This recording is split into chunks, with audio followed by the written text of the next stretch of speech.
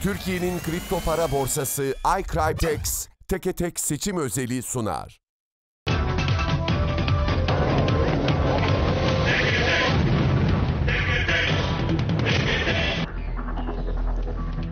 Değerli izleyiciler, seçim özel programımız devam ediyor. iCrypex'le beraber hazırladığımız ve e, bu son iki seçimin yani hem e, geçtiğimiz Mayıs'taki seçimin hem de bu seçimin e, biraz sürpriz bir partisi, e, İşçi Partisi'nin genel başkanı. Bugün konuğumuz aynı zamanda da kendisi de bir belediye başkan adayı. E, Gebze'den e, başkanlığa aday. Onu hem Gebze'ye konuşacağız ama daha çok bir genel e, Türkiye'de İşçi Partisi'nin belli yerlerdeki inanılmaz yükselişini konuşacağız. Çünkü herkes çok İşçi Partisi ciddiye almadığı bir ortamda İşçi Partisi çok belirleyici roller oynamaya başladı. Antalya'da, Hatay'da, İstanbul'da beklenenin çok çok üzerinde e, oy aldı ya da bazılarının beklediği ve bugün hakikaten e, soldaki e, önemli kilit konumlardan e, birine e, yükseldi. Bunu konuşacağız çünkü pek çok yerde kazanma ihtimalleri e, var. E, kazanamadıkları yerde işbirliği yaptıkları partiye veya partilere kazandırma ihtimalleri var. Erkan başta bunları konuşacağız. Erkan Bey hoş geldiniz. Merhaba, hoş bulduk. Bütün solcu gönlümüzde karşımızdasınız her zaman olduğu gibi. Gayet klasik ya, sokaktan geldim. Evet, sokaktan- Devam edeceğiz bir de. Galiba tekrar yola devam edeceksiniz. Gebze'de pek görünmüyormuşsunuz. Daha çok Türkiye'yi geziyorsunuz galiba. Yok, ikisini de yapmaya çalışıyorum. Tabii e, ya diyelim ki herhangi bir ilçe belediye başkanı adayı sadece o ilçeden sorumlu ve orada çalışıyor. Hani onunla mukayese edildiğinde haklı olabilir ama e, şöyle bir avantajımız var. Şimdi Ramazan ayındayız.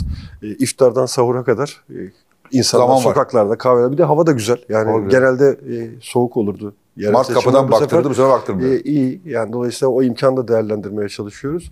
Gebze için e, sözümüz söz yani elini sıkmadığımız, yüzünü görmediğimiz hiçbir yurttaş bırakmayacağız seçim O kadar. kadar. Tabii tabii çalışıyoruz. O yoğunlukta faaliyet devam ediyor. Peki Gebze'de bir ihtimal görüyor musunuz? Şu açıdan soruyorum ihtimal görüyor musunuz? Gebze yıllardan beri e, bir işçi kalesi olmasına rağmen aynı zamanda Sağan Kalesi. Bu aslında e, Türk solununda e, 1970'lerde öğrenmeye başladı ve artık ezberdiği bir şey. Yani bizim Anadolu kökenli işçilerimiz genellikle sağ parti oy verirler. Siz bunun yavaş yavaş değişmekte olduğunu gözlemliyor musunuz Gebze özelinde? Zaten adaylığın bir kere bunu değiştirmeye dönük bir iddiayı taşıyordu. E, çünkü biz aslında daha genel olarak da söyleyeyim. Bu seçimlere doğru giderken hani bu adaylıklar belirlenirken e, en çok Türkiye siyasetine hakim olan bu kutuplaşmaya bir itiraz geliştirelim diye tartıştık kendi içimizde. Çünkü bine yakın il ilçe beldede seçim yapılıyor.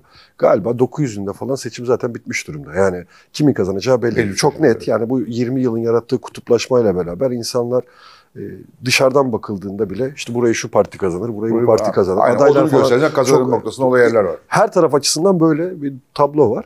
Şimdi Gebze'de aslında bu açıdan bakıldığında 30 yıldır AKP'nin e, ya da Milli Görüş Hareketi'nin daha öncesinde yönettiği bir belde, bir, bir belediye e, ve %60-65 hele MHP ile AKP birleştiğinde de %60'lara 65'lere geliyor. E, benim adaylığımdan önce bayağı rahattı belediye başkanı. Yani 5 yıldır e, kendisi şöyle anılıyor Gebze'de evinden çalışıyor diye Evet, anılıyor. Şimdi Şadi e, son e, 10-15 gündür e, bizim adaylığımız ortaya çıktığı andan itibaren şükürler olsun sokağa çıkmaya başladı. Yani en kötüsü bir kere onu çalıştırmaya Nasıl başladık. oldu da oldu peki? Şimdi şu yani biz e, o statikoyu yani işte biraz önce sizin söylediğiniz çok uzun yıllardır bize ezberletilen alıştığımız sosyolojik olarak da karşılığı olan ama e, ilahi nihai böyle devam edecek diye bir kural olarak görmediğimiz tabloyu değiştirmek gerekir. E, dolayısıyla biz AKP'nin, MHP'nin çok güçlü olduğu ama emekçilerin yoğun yaşadığı yerlerde Türkiye İşçi Partisi seçimlere girsin.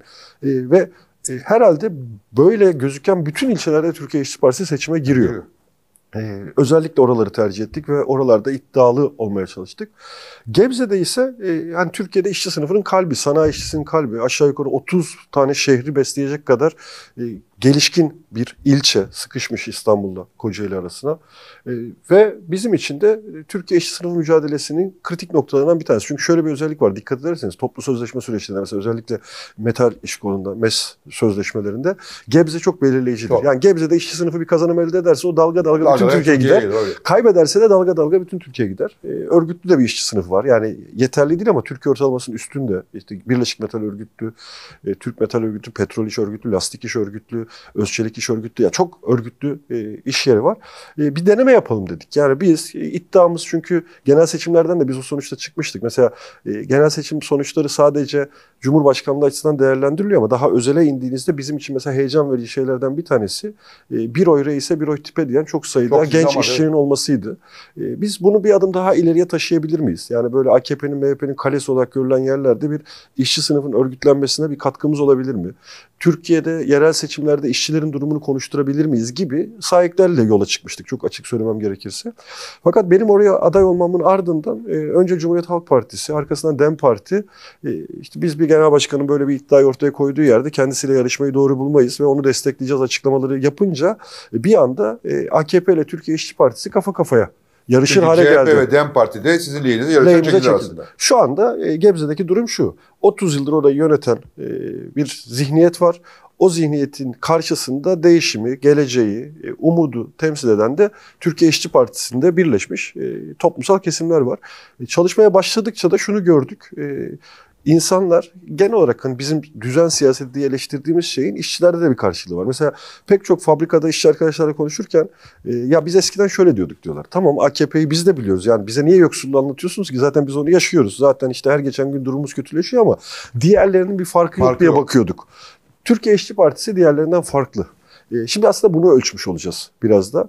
E, Bir de insanlar yıllardır yani 30 yıldır hep bir tırnak içinde söylüyorum kaybetmişler. Dolayısıyla bu seçime de bir heyecanla bir motivasyonla hazırlanmıyorlardı aslında. E, Şimdi bu ittifakın ortaya çıkmış olması e, bizim de geride kalan 6-7 yıldır hani hangi görüşten olursa olsun her işçinin hak mücadelesinin yanında duruyor olmamız parti olarak e, bir heyecan yarattı ve bir kazanma umudu ortaya çıktı. Bu son derece önemli. Şimdi biz e, bugün ilk aday olduğuma göre çok daha umutluyum, çok daha heyecanlıyım. Omuzlarında da ciddi bir sorumluluk var. Çünkü başarılabilir bir şey olarak Şu anda görüyoruz. İşçi Partisi'nin Gebze'yi kazanma umudu mu belirli?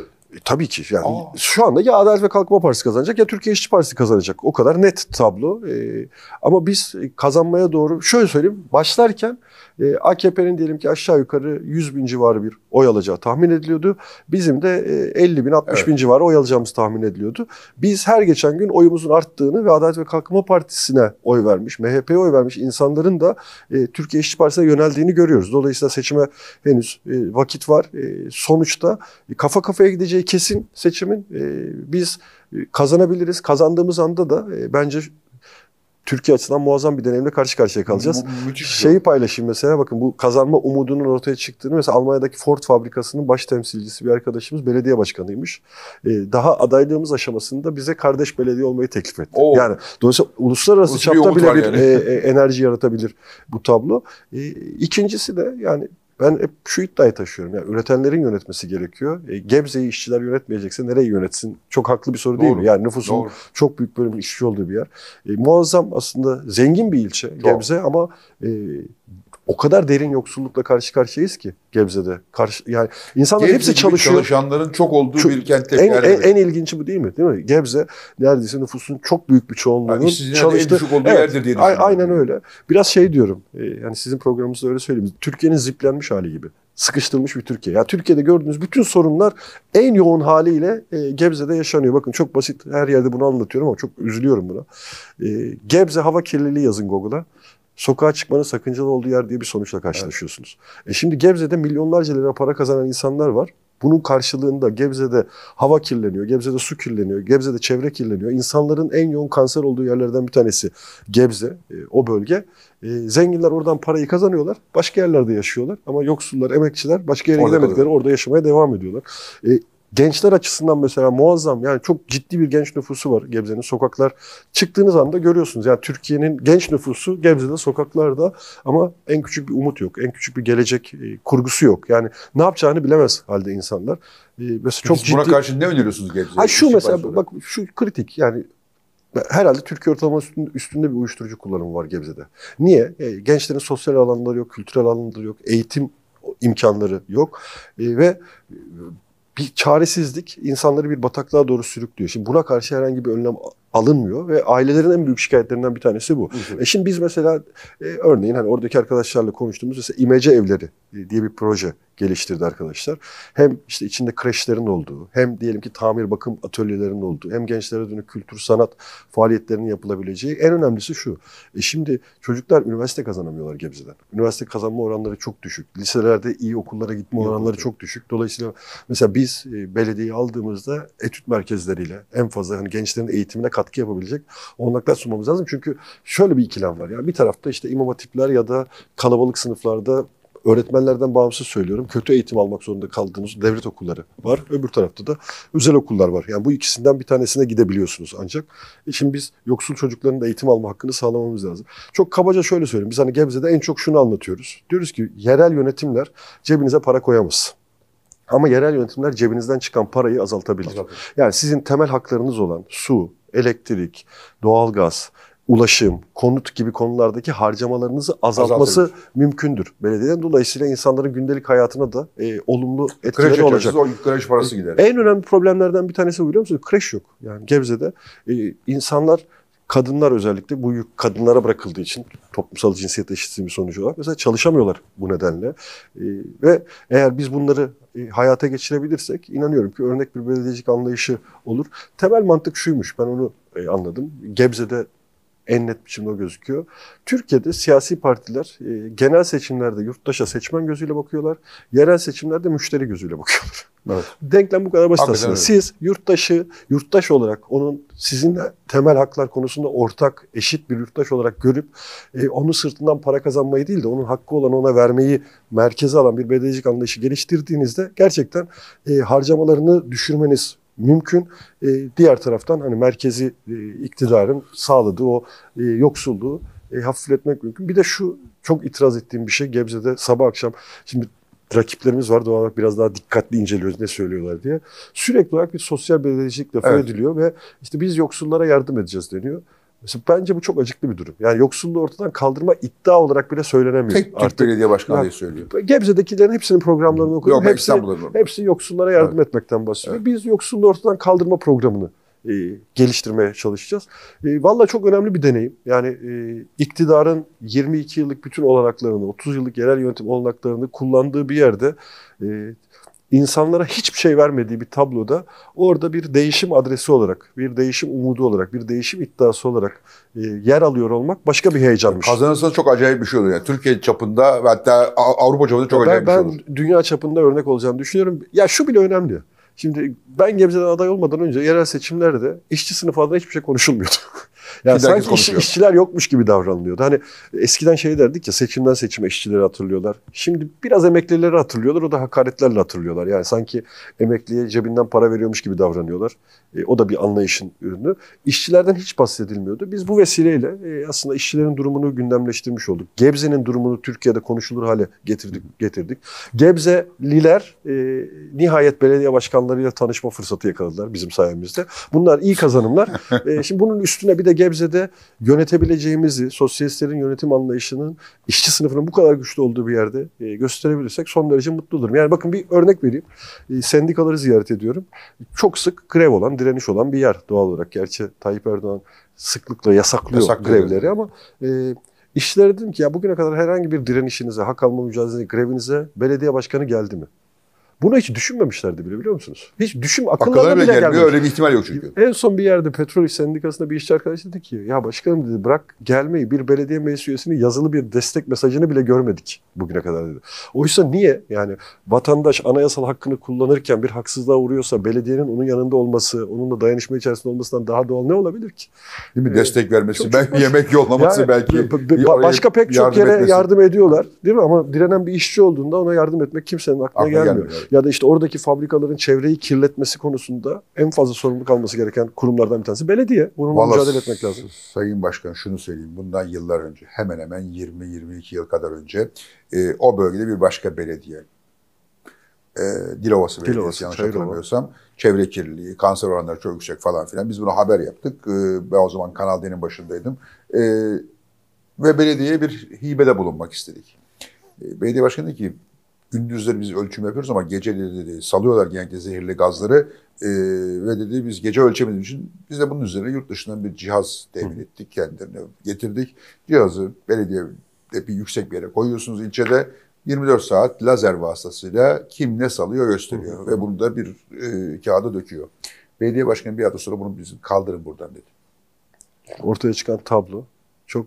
Şimdi onu ortadan kaldırıyor da işte insanların kanser olmasını engelleyemiyorsunuz ve artıyor. Şimdi bu, bu Aynen. akıl akıl almaz bir şey. Gebze'de herkes bunu biliyor mesela. Biliyor. Yani Gebze'de Herkes herkes, bunu biliyor. E, ama buna karşı en küçük bir önlem olmuyor. Bu şu anlama gelmiyor. Yani sanayiyi bitirelim, yok edelim falan değil. Bunun önlemleri alınabilir. Yani çok bir bacaya filtre, Yani, hani biraz daha az para kazanacaklar. Bütün insanlar daha daha sağlıklı sağlıklı yaşayacak. Bu kadar basit Böylelikle yani. şey daha azalacak. Ee, devletin gideri daha azalacak. Peki e, bir başka tartışma konusu vardı. Maçoğlu. Ee, eski e, eski değil halen e, Tunceli Belediye Başkanı adayı. E, Sayın Maçoğlu Tunceli'de son derece güçlüyken ve başka yerlerde kazanma ihtimali varken de Tunceli'yi terk edip İstanbul'a geldi ve Kadıköy'den aday oldu. Bu burada sizinle de bir tartışma yaşandığı yolunda bir hissiyata kapıldı toplum. Neydi o tartışmanın arkasındaki? Ya şimdi size söylemiyorum ama sizin vesilenizle genel olarak bir düşüncemi paylaşayım. Şimdi biz herhalde 500-600 yerde e, belediye meclisleri, belediye başkanlık adayları falan çok yaygın seçime giriyoruz. Yani gerçekten mesela Bolu'nun Kıbrısçık diye bir e, ilçesi var. E, sanıyorum 500-600 seçmeni var. Türkiye İşçi Partisi orada iddialı diyelim. ki. Yani kimsenin adını bile bilmediği Bilmediği yerler. yerlerde Türkiye Partisi seçimi çok yaygın biçimde. Yani işte ben yarın öbür gün Erzincan, Tokat, e, Hozat'a kadar e, çok yaygın bir dönem yerde, bölgede beldeler düzeyinde katılacağım seçime giriyorum. Şimdi ama şu benim üzüyor. Ya 500-600 yerde seçime giriyoruz. Bazılarında çok iddialı seçime giriyoruz. Yani birinci ya da ikinci parti konumundayız. Fakat iş dönüyor dolaşıyor. Bir iki yerin tartışılmasına Olsa bağlanıyor. Çünkü biraz kamuoyu da galiba şeye alıştı. Solcuların birbiriyle tartışmasına alıştı. Onu Evet. seviyor. Seviyoruz. Aslında böyle bir durum yok. Yani dediğim gibi belki işte bir iki tane yerde e, bu yarış var. Ben önce bizim çizgimizi söyleyeyim. Biz şunu yapıyoruz. Yani iktidarın e, kazanma ihtimali olmayan yerlerde demokratik rekabetin, yarışın daha özgürce ilerlemesi gerektiğini savunuyoruz. Yani vatandaş iyiler arasında en iyi seçsin. Dolayısıyla mesela Kadıköy'de bizim için böyle yerlerden bir tanesi. Yani AKP'nin, MHP'nin falan burada kazanma ihtimali yok. Yani %10 oy alırsa bayram edecekleri yerler buralar. Burada çok seçenek olmasında bir sakınca görmediğimiz için e, burada adayız. Bizim adaylığımız Maçoğlu'na karşı bir adaylık falan değil. E, Fatih Mehmet Maçoğlu bizim arkadaşımız, dostumuz, birlikte mücadele ettiğimiz e, bir arkadaşımız. E, iyi bir belediyecilik deneyimi yaşadı. Hem Ovacık'ta arkasından merkezde.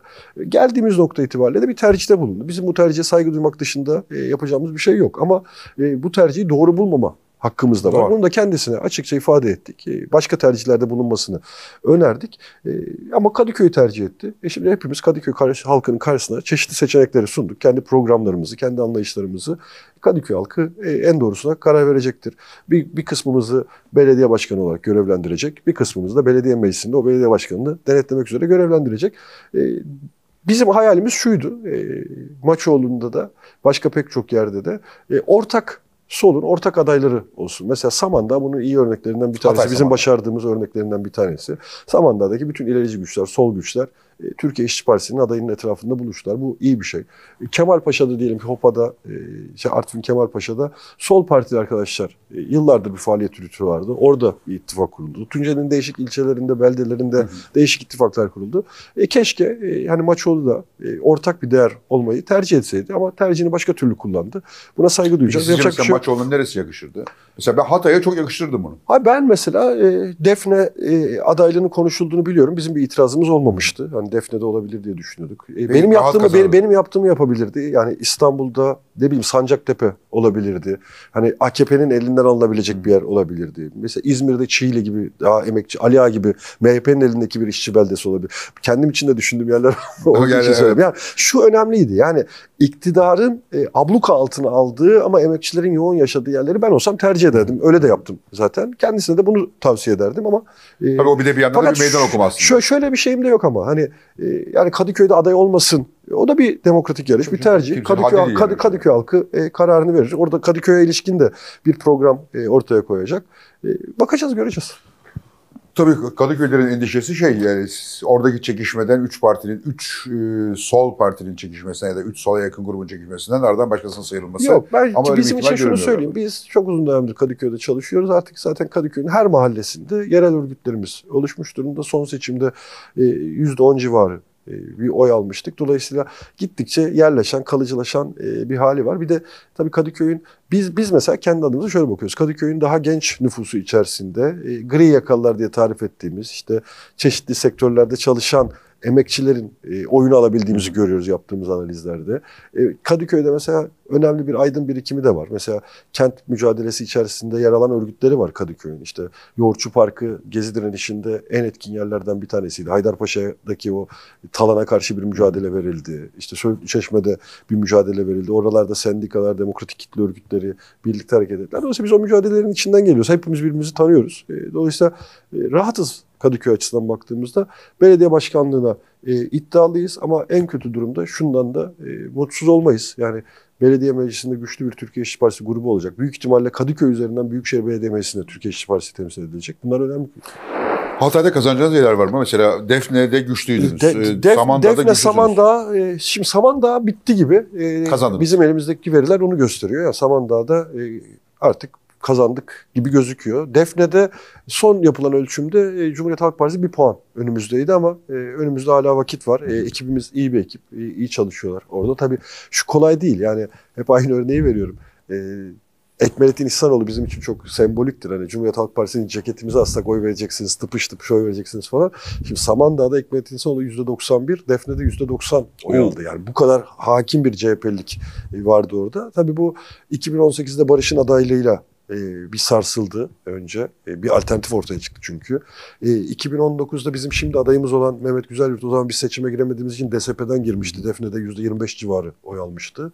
E, 2023'te Can Atalay'ın adaylığı konusu sırasında her iki ilçede de biz artık burada Cumhuriyet Halk Partisi'ne mahkum değiliz. Başka bir seçenek de var fikrini e, örgütlemiş olduk. E, şimdi herhalde artık yerel iktidar e, bize teveccüh edilecek. Öyle düşünüyoruz, öyle bekliyoruz. Peki Ben mesela baktığımda e, son seçim sonuçlarında ben seçim sonuçlarını çok di- di- dikkatli incelemeye çalıştım. Antalya'da güçlü olduğunuz yerden bir tanesi. E, Antalya'da bir umudunuz var mı? Ve Antalya- Antalya'da e, CHP sanki seçimi kaybedecekmiş gibi durmaya başladı anketler. Şimdi Antalya'da e, şöyle bir bizim milletvekili adayımız e, seçilemediğine en çok üzüldüğüm arkadaşlarımızdan bir tanesi Yunus Başaran e, eski il başkanımızdı. Turizm işçisi, çok çalışkan, e, Antalya'nın yerel e, aktörlerinden bir tanesi ve e, bu o seçimde çıkan stratejik oy e, baskısını yenemediğimiz için böyle tam anlamıyla kıl payı. Evet, Yani kıl yurt dışından gelen oylarla e, seçilemedi. E, Yunus e, en çok üzüldüğüm yer. Yani haksızlığa uğradığımızı düşünüyorum orada. Çünkü e, mesela stratejik oy gereği tipe değil de işte şuraya oy verin, buraya oy verin dediler. AKP bir milletvekili fazla çıkarttı Antalya'da. O çok e, üzücü.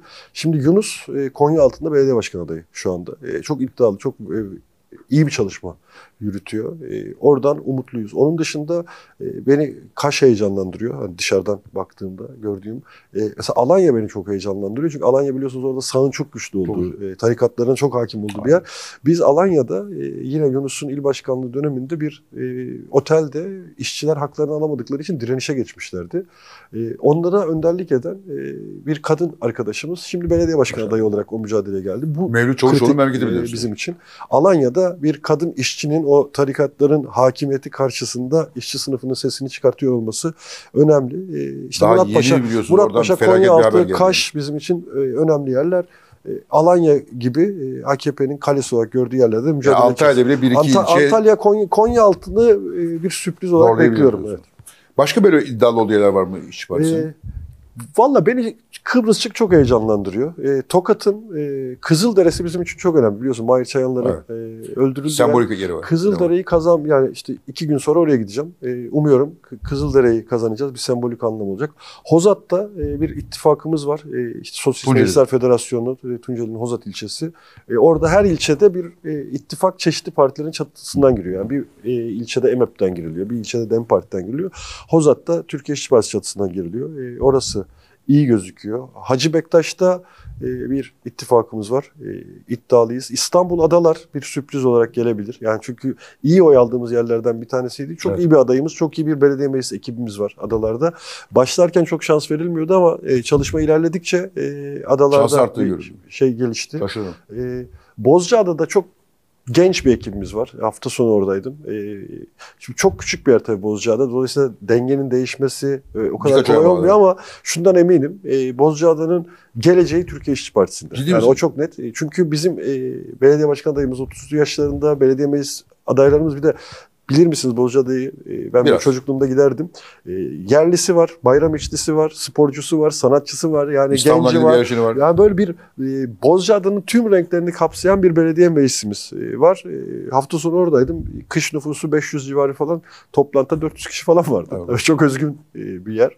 Oradan umutluyuz. Karaburun, Çiğli, İzmir, İzmir, Karaburun. Karaburun, Çiğli. Buralar bizim açımızdan heyecan verici çalışmaları yapıyoruz. Yani Karaburun'u alabiliriz gibi görüyorum. Çiğli'de herkes sürprizin Türkiye İşçi Partisi olacağını söylüyor. Foça iyi, iyi gidiyor. Yani İzmir'de bizim de şöyle bir özelliğimiz var. Bakın Kocaeli, İzmir e, için de aynı şey geçiyor. Geçen seçimde bazı bölgelerde seçime girmemiştik ya. Şimdi Kocaeli'ne girmemiştik mesela. İzmir'in bir bölgesinde yani Karaburun, Güzelbahçe, e, Urla e, tarafında seçime girmemiştik. E, şimdi görüyoruz ki aslında orada seçime girseydik e, önemli başarı elde edebilirmişiz. E, biraz geçen seçimden borçlu kaldığımız yerler. Çankaya'da İrfan Değirmenci bence çok iyi bir çalışma götürüyor. Yani Çankaya'daki o tepki... İrfan e, sürekli size aday oluyor, geri dönüyor. Aday oluyor, ama şöyle e, şimdi bakın geçen sefer e, İzmir adaylığı bizim kendisine önerdiğimiz bir şey oldu. E, çünkü Ankara'da seçime girmemiştik. Aslında İrfan Ankaralı e, ve biraz aslında İrfan'a da borcumuz vardı. Bir de Çankaya'da seçmene borcumuz vardı. Hatırlayacaksınız Sadullah Ergin CHP listesinde olduğu için inanılmaz bir tepki olmuştu. Muazzam tepki o tepki CHP'den çok bize yöneldi. Bizi niye çaresiz bıraktınız, niye aday çıkartmıyorsunuz diye. Şimdi o yüzden e, aslında şöyle söyleyebilirim. Benim Gebze'den adaylığım, İrfan'ın Çankaya'dan adaylığı seçmene Borç bir borç ödeme aynı zamanda. En iddialı arkadaşlarımız da buralara Tabii siz giriyoruz. bir yandan da seçilirsiniz Gebze'de. Genel başkanı bırakmak zorunda kalacaksınız. İşte genel başkanlık bizim açımızdan çok e, hani diğer partilerdeki gibi Evet öyle bir, üstlerde öyle bir şey yok. değil. Evet. Bizim açımızdan mesele şu. Milletvekili, genel başkan, ilçe başkanı, il başkanı, parti üyesi, işçi sınıfı mücadelesini güçlendireceğimiz görev neyse onu üstleniriz. E, Gerçekten Gebze Belediye Başkanlığı Türkiye'de işçi sınıfı mücadelesini yükseltebilecek, onu geliştirebilecek önemli bir görev, önemli bir sorumluluk. Onu hangi görev alırsak en iyi biçimde yapmaya odaklanırız. Peki şeyi merak ediyorum şimdi. E, doğruyu söylemek gerekirse sizin yerel yönetimlerle ilgili e, ne diyeyim o arzunuzu, isteğinizi e, çok e, hem hoşuma gidiyor hem de bu arzunun karşılığını verebileceğini düşünüyorum. Fakat iktidar alternatif olarak düşündüğümde yani yarın öbür gün e, acaba e, İşçi Partisi Türkiye'de iktidar alternatif olabilir düşündüğün zaman kadrolarınız yeterli mi bunun için? Ya şimdi biz yeterli olduğunu düşünüyoruz. Buna inanıyoruz ama net olarak ifade edeyim. Sorunuz e, oturdu kafamdan geçene. Şimdi Türkiye İşçi Partisi'ne bakıldığında diyelim ki son 5 yıllık pratiğine bakıldığında herkes şunu söylüyor. En iyi muhalefet eden parti. Muazzam. Şöyle. Çok güzel konuşuyorsun. Yani hatta şöyle oluyor. Diyorlar ki işte 3 vekille 4 vekille bunların yaptığını 100 vekille şu yapamıyor Yapamıyor. falan gibi mukayeseler Hatta diyor ki yapılıyor. 50 vekil olsa Tamam. kim neler yapardı? Tamam bu bizim açımızdan olumlu bir puan tabii ki. Yani biz sonuçta halkın sesini her platformda dile getirmeye çalışıyorduk ve vicdanlarından geçeni söyledik. İyi muhalefet yapan bir partiyiz. Fakat biz iktidar olmak için kurulmuş bir partiyiz. Dolayısıyla şimdi bu seçimler için hedefimiz yönetebileceğimizi de göstermek. Göstermek. İşte o kadroların toplum tarafından da görülebilir hale gelmesi lazım. Mesela bakın biz en küçük kazanacağımız ilçeler, beldeler dahil olmak üzere her yere bilim kurulundan heyetlerimizi gönderdik. Mühendislerimiz, mimarlarımız, şehir plancılarımız, işte konuyla ilgili uzman arkadaşlarımız kazanma olasılığımız olan her yerde geziyorlar şu anda ve kazandığımız gün ne yapacağımıza ilişkin elimizde bir e, program Tabii sizin olacak. bir farkınız var. Yani diğer alternatif e, sol pa- sol demek doğru bilmiyorum CHP ama e, sizde adanmışlık daha fazla. Kesinlikle bizim e, ben en mesela yurttaşlara da hep onu söylüyorum. Bizim e, elimizden gelenin çok daha fazlasını yapacağımızdan kimsenin tereddütü yok. Bakın şunu ifade edeyim. Bu seçimlerin bence e, tarihin en heyecansız seçimi ama 31 Öyle. Mart akşamı çıkacak bu seçimi tarihe kaydedecek sonuçlardan birisi şu olabilir. Biz 10-15 arası yerde küçüklü büyüklü ilçe belde kazanırsak bir sosyalist belediyeler birliği kuracağız. Oh. Ve bunlar arasında bir dayanışma örgütlenmesi olacak. Her birisini yani daha önce böyle spesifik örnekleri var. İşte Fatsa var, Ovacık var falan çeşitli örnekler var ama ilk defa biz şu pozisyondayız. Düşünün mesela Samandağ'da kazanabilirsiniz, Bozcaada'yı da kazanabilirsiniz, İstanbul'da da Gebze'yi kazanabilirsiniz, Gebze'yi kazanabilirsiniz. kazandınız, Erzincan'ı kazandınız falan hani beldeler düzeyde. Bunların hepsinin imkanlarının birleştirildiği yeni bir modeli deneyeceğiz ve gerçekten yönetebileceğimizi, örnek bir belediyecilik sergileyebileceğimizi ben hissediyorum. E, Bunu hayata geçirdiğimizde artık Türkiye'de belediyecilik açısından yeni bir çıta oluşacak. E, bugünkü iktidar açısından baktığınızda onlar da yerel yönetimlerdeki esas olarak başarılarıyla bugünlere geldiler. E, biz bunu e, başarabileceğimize inanıyoruz. Bunu göstereceğiz. Ya bunu şu yüzden sordum. Ee, belki hoşunuza gitmedi bu sorum ama size bakışta ya idealist, şahane, güzel konuşan gençler ama acaba ne yapabilirler e, fikri genelde toplumda size büyük sempatiyle bakanlar da bile e, oluşan bir fikirdi. Ya biz şöyle değiliz. Oradan kaynaklanıyor. Mesela bakın ben hiç samimiyetle ifade ediyorum. 25 yıllık devrimciyim. Hiç inanmadığım bir şey söylemedim. Kaç yıl? Bazen 25 yıl. Daha öncesi değil miydiniz? Ha lisedeydim zaten. Doğuştan değil. lise lise ikinci sınıftan bu yana e, şey şu önemli. Yani bazen mesela hedeflediğimiz ve başaramadığımız şeyler olmuştur ama hep inandığımız şeyleri sö- söyledik. E, onu hayata geçirmek için e, mücadele ettik. Örneğin yani şimdi klasik siyasetçi alışkanlığı ben onu yapamıyorum, beceremiyorum onu yani. İşte ya biz bu seçimde iktidar olacağız. İşte yüzde yirmi alacağız. Yüzde otuz alacağız. Ya o dökülüyor zaten bizim üzerimizde değil mi? Ya neyse o. Biz onu söylüyoruz. Şimdi dolayısıyla biz e, mütevazi ama iddialı bir partiyiz. Yani Çok güzel. Hem, hem mütevaziyiz hem iddialıyız. Haddimizi biliyoruz, hedeflerimizi biliyoruz. Araya doldurmaya çalışıyoruz, gelişmeye, öğrenmeye çalışıyoruz. Gerçekten biz yani hiç parlamentoya girmeden ülkeyi yönetmeye taliptik. Ama ya bir gidelim bir görelim Bir görelim nasıl yapılıyor ya bu. Tamam bütçe nedir? Nasıl yapılır? Mesela e, geçen dönemi düşünün. Ben hani meclisin en çalışkan milletvekillerinden bir tanesiydim. Niye? Çünkü büyük bir öğrenme arzusuyla Evet. da çalışıyordum aynı zamanda. Ya nasıl yapılıyor bu akademisyen. işler diye. E şimdi şimdi mesela belediyeler için arkadaşlarımız, aday olan arkadaşlarımızın hepsi aynı. Bir de şu avantaj. Biz profesyonel siyasetçi değiliz. Yani hayatını siyasetten kazanan Kazanmıyor. insanlar değiliz. E, Ondan da çok mutluyuz. Mesela şu çok hoş. Ben sağda solda toplantılara gittiğimde hep soruyorum. Yani şu adayımızı diyorum. Hiç hırsız diyor musunuz? Yalancı diyor musunuz? Yolsuzluk yapar diyor. Bakın yani belki 10 bin tane adayımız var belediye meclisleri falan toplandığında. Bir tanesi için böyle bir çamur bile atılamıyor. Böyle bir iddia bile ileri sürülemiyor. Tek söylenen şey ya acaba olur mu? Ya biraz bu hayalci değil mi falan. Yani evet biraz hayalciyiz ama o hayalleri gerçek kılmak için de mücadele ediyoruz. Bizim çizgimiz bu. Bu beni sevindiriyor. Yani şu andaki durumumuz e, bu. E, bizim arkadaşlarımız işte fabrikada Ya işte. bizle ilgili tek soru işareti becerebilir mi olsun? Çalar mı olmasın? Aynen bu, bu çok sevindirici bir şey. Mesela ben hiçbir yerde şu lafı kullanmıyorum. Bize oy vermezseniz öcüler gelir. Yani mesela herkes böyle siyaset Evet. yapıyor. Farkında mısınız? Açık 20 konuşuyor. AKP Türkiye'de. bize oy vermezseniz CHP gelir diyor. CHP bize oy vermezseniz AKP gelir diyor. Bir korku siyaseti AKP bu. teröristler gelir. Yani o daha da e, şey bir de yalanla dolanla süsleyerek yapıyor. Mesele şurada bakın. İnsanların aklını kazanmaya, insanların gönlünü kazanmaya, insanların rızasını kazanmaya dönük bir siyaset yapılmıyor ki Türkiye'de. Korkular üzerinden ötekisi kötü onun için bana ver. Biz öyle demiyoruz. Ötekisi kötü derken bir yandan da o ötekisi benden daha kötü E, aslında. aslında o anlama geliyor. Biz hiç öyle söylemiyoruz. Ben her yerde şunu söyledim. Bir belediye başkan adayı, sonuçta bir ilçeye gittiğiniz zaman belediye başkan adayı konuşma yapıyor. Siz konuşma yapıyorsunuz. Diyorum ki bundan daha iyi bir aday varsa ne olur ona verin. Hiç Samimiyetle söylüyorum. Her yerde bunu söyledim. Ya bizim adayımızdan daha iyi bir adayınız varsa, bizim belediye meclis üyelerimizden daha iyi belediye meclis üyeleriniz varsa, daha çok çalışacak, o ile o ilçeye daha çok hizmet edeceğine inandığınız insan varsa ona verin. Yani ve ben güveniyorum arkadaşlarıma. Çünkü şu, biz bir ilke partisiyiz. Bir duruşu partisiyiz. Hani e, tırnak içinde söyleyeyim kötü insanlar bize gelmek istemiyorlar zaten. Yani buraya gelip başına niye bela alsın ki? Yani zaten bir takım alengirli işler yapacak bir de üzerinde bir parti baskısı hissedecek. Uğraşmak istemiyor bizimle. Gelmiyor bize zaten. E, Böyle bir avantajımız var. Henüz bu şu aşamada. İşçi bayisi gibi benim e, bendeki ilginç e, kafamda oluşan Trakya'da niye çok iddialı değilsiniz? Ya şimdi Trakya şöyle. Geçen seçimin e, genel seçimde e, bu milletvekili seçilebilme matematiği çok hakimdi.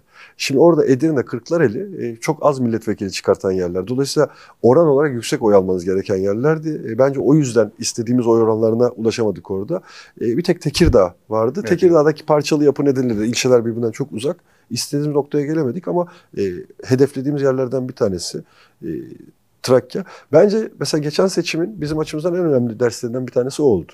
Yani vatandaş bizi seviyor e, ama bu stratejik oy diye tırnak içinde e, yönlendirildiği taraf böyle günü kurtarma telaşı nedeniyle e, hani gönlü bizde de olsa bize oy vermiyor. E, ben birkaç yerde söyledim. Mesela seçimde, geçen seçim açısından en mutluluk verici şeylerden bir tanesi şu. E, 51 ilde seçime girmişiz, 1 milyon oy almışız. Yani dünya çapında bir olay oldu aslında. Farkında değiliz. Yani dünyada şu anda solun böyle Yükseldiği büyüdüğü yok. bir yer değil. E, 1 milyon oy mesela dünyadaki pek çok sol sosyalist güç gözünü Türkiye'ye bir döndü. Ya ne oluyor Ne Türkiye'de oluyor nasıl oldu bu diye. Üstelik unutmayın diskin 200 bin üyesi olan bir yerde biz 1 milyon oy aldık. Yani işçi sınıfının örgütlü olduğu, mücadele ettiği falan da bir tablo yoktu. Yok ortada. Çok gerçekten büyük bir sürprizdi bu. Daha önemlisi de şu ama. Bize oy veren, ben sokakta gördüğüm tek bir yurttaş bile pişmanım demedi. Ama bize oy vermeyen çok sayıda insan yani son dakikada şu şu nedenlerle size oy Evet. vermedim ve pişmanım diyor. Şimdi bu önemli bir şey. Bir partinin bence yani geleceği açısından umut verici, heyecan verici şeylerden bir tanesi bu. Trakya'da da şimdi mesela orada da e, Marmara Ereğlisi'nde mesela arkadaşlarımız gibi bir çalışma yapıyorlar. Yani kazanmak için e, uğraştığımız ilçelerden bir tanesi ama ve kişisel olarak bana sorarsanız işte Çorlu'dur, Çerkezköy'dür hani sanayinin, işçi sınıfının güçlü olduğu yerlere biraz daha yüklenmek lazım. Ee, siz e, DEM Parti'yi e, daha önceki işbirliklerinizde de yakından tanıyan e, bir siyasetçisiniz. İktidar Partisi'nin sanki DEM Parti ile e, adı konmamış bir yakınlığı var e, gibi duruyor ve sürekli olarak e, iktidar eğer e, İstanbul kaybede İstanbul'u CHP kaybederse e, iktidar Partisi'nin yeni bir açılım süreci başlatma başlatacak e, başlatacağı konusunda DEM Parti ile bir ittifak halinde olduğu yolunda bir algı, izlenim, e, ler var. Mesela bakıyorsunuz bazı e, iktidar e, milletvekilleri de işte Selahattin Demirtaş hakkında olumlu sözler söyleyerek insanları şaşırtıyorlar. Ve hatta iktidara yakın bazı televizyonlar 10 yıllık neredeyse yani hendek olaylarından ya da hendek çalışmalarından bu yana ilk kez DEM Parti adaylarını televizyona çıkarmışlar. Orada ne oluyor? Şimdi bir kere şunu söyleyeyim. Ya insanların ya bu savaş ortamının, terör ortamının, işte düşmanlık ortamının nasıl adlandıracaksak yani herkesin kendi diliyle ifade etmiş oluyor.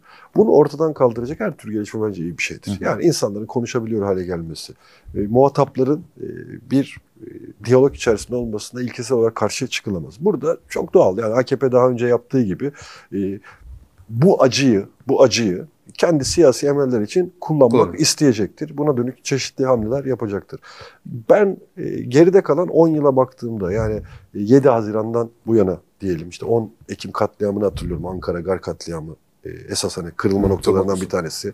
Suruç katliamı. E, o günden bugüne ben şundan rahatsızım. Bunu söyleyeyim.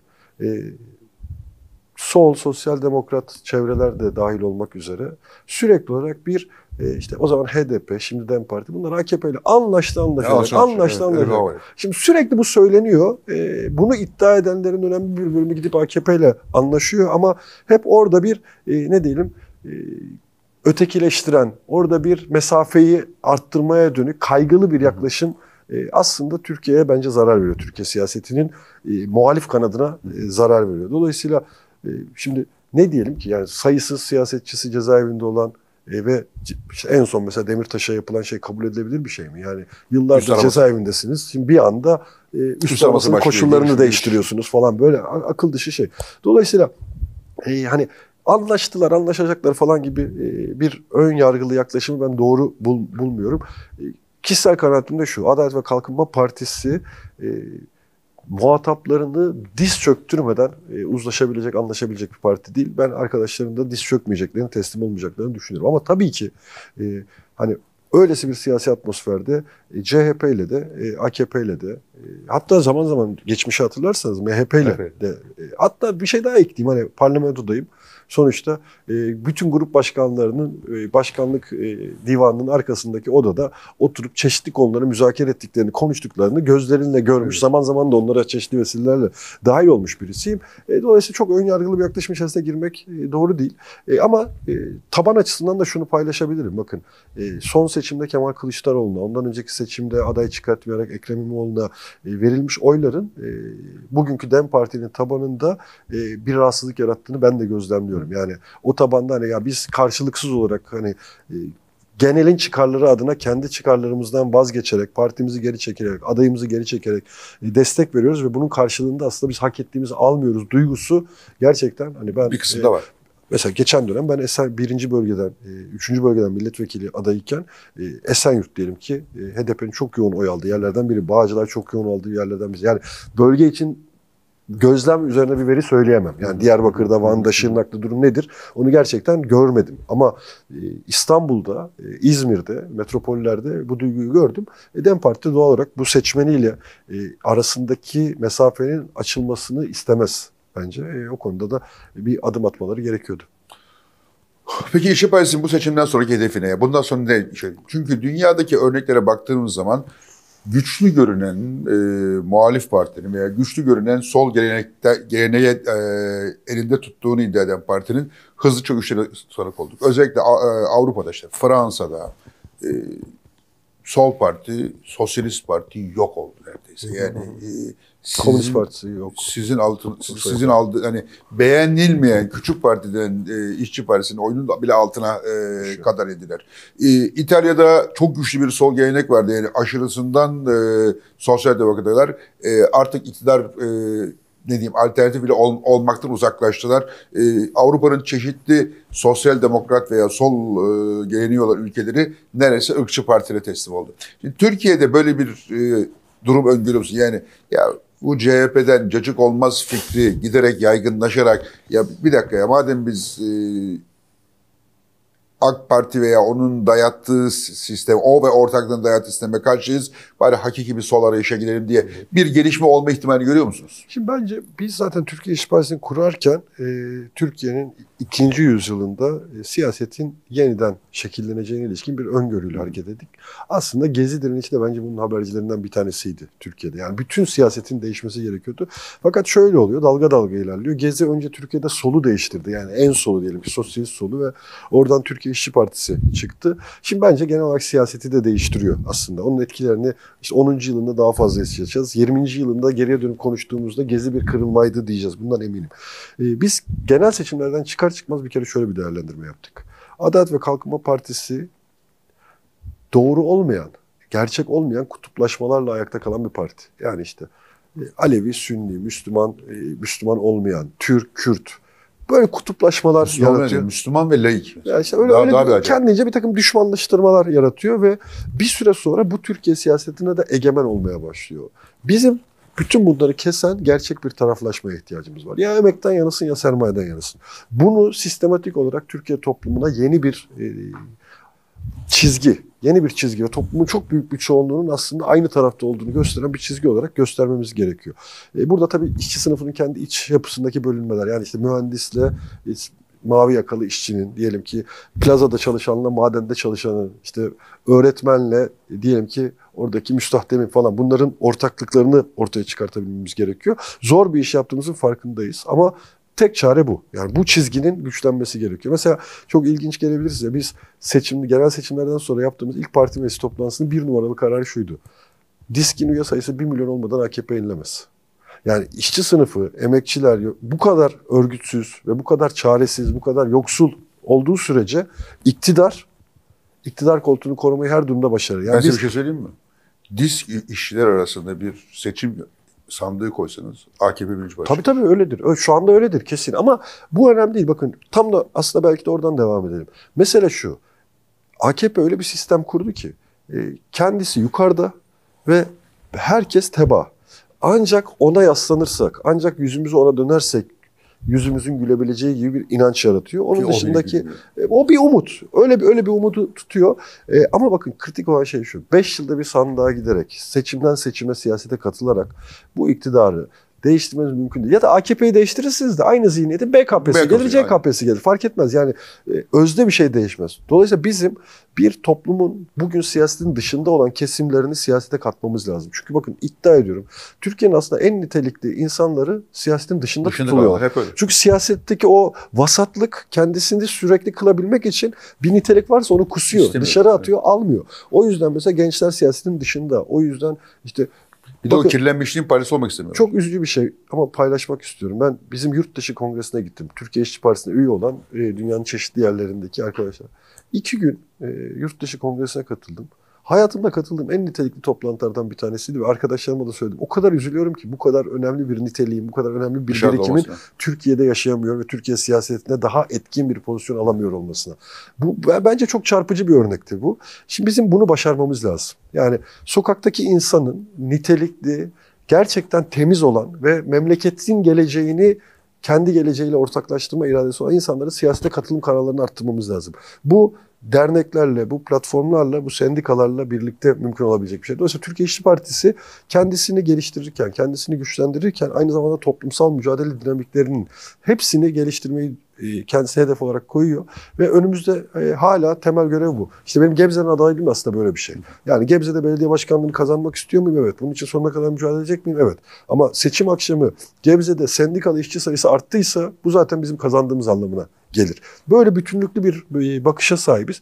E, genel olarak dünya soluna yeni bir vizyon katmak gibi bir iddiamız da var. Sonuçta Türkiye, şimdi şöyle söyleyelim, e, biz 1 milyona yakın oy aldık. Bizim kadar oy alan Siriza Yunanistan'da iktidar olmuştu. Yani dolayısıyla Türkiye çok büyük ve dünya siyasetini de etkileyebilecek dinamiklere sahip bir ülke. E, genel olarak dünyada solun, sosyalizmin yeniden gerçek bir seçenek bir alternatif olarak e, belirmesinde payımız olabileceğini düşünüyoruz. Yani sadece Türkiye'nin içine de bakmıyoruz. Yani dünyadaki tartışmaları görmek, oraya da yönlendirmek. Türkiye gibi. siyasi yaklaşım olarak dünyaya model ol, olabilen bir ülke. Enteresan öyle, bir öyle bir potansiyelimiz var. E, bu, bu konuda da bir iddiamız var. E, ve en güzeli şu onu söyleyeyim.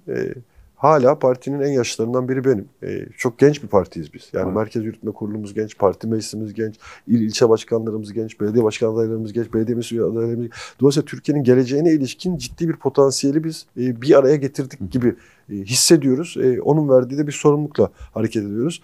E, biraz tabii ki acelemiz var. Yani Türkiye her geçen gün e, yaşadığı yıkım evet. nedeniyle e, telafisi daha zor, daha zor bir süreç yaşıyor.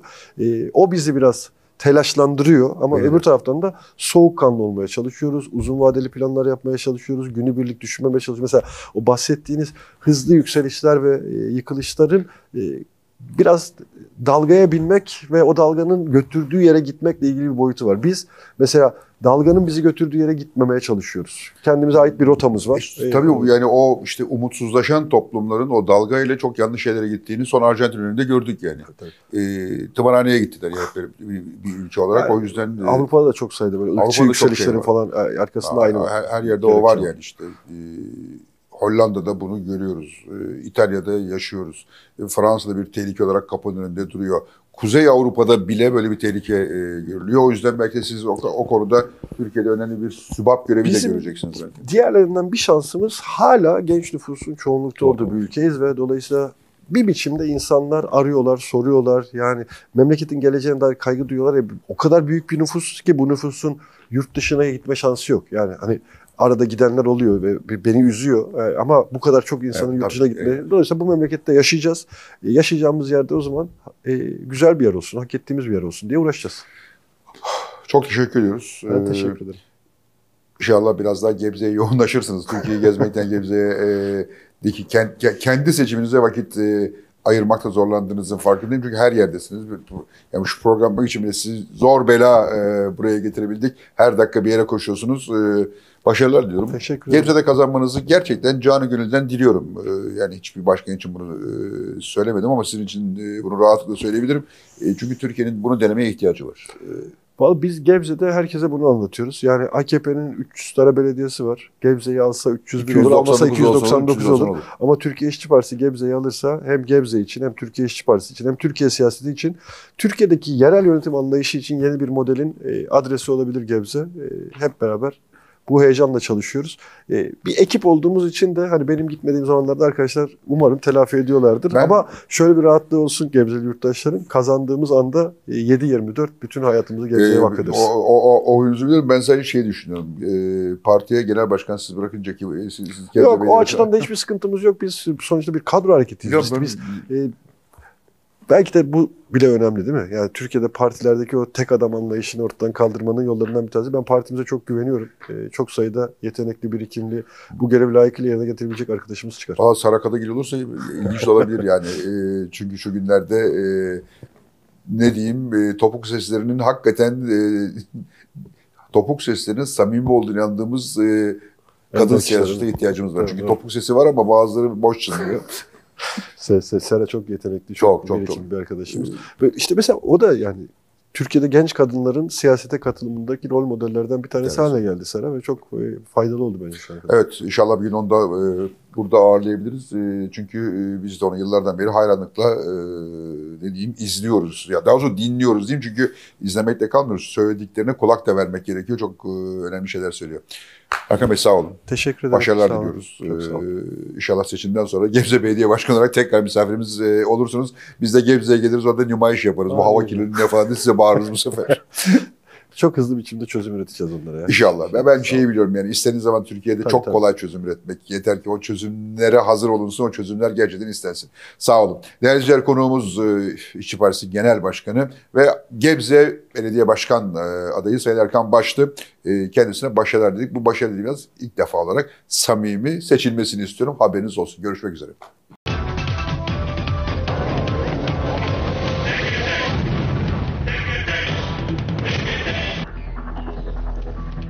Türkiye'nin kripto para borsası iCrypex teke tek seçim özeli sundu.